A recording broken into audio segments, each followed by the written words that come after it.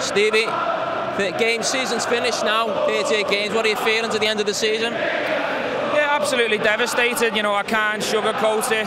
Um, personally gutted and gutted for the fans. They've been magnificent, but we can't be too down. You know, it's been a, a fantastic season, and we need to bounce back next year and try and go one better.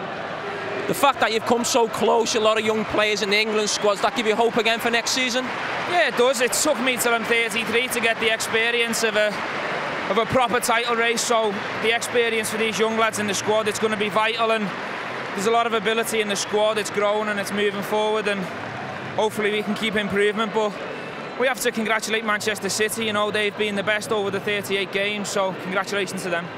The fact you're now playing in this new role, you've still got 13 goals, 14 assists. Do you think you can? How long do you think you can carry on in that role?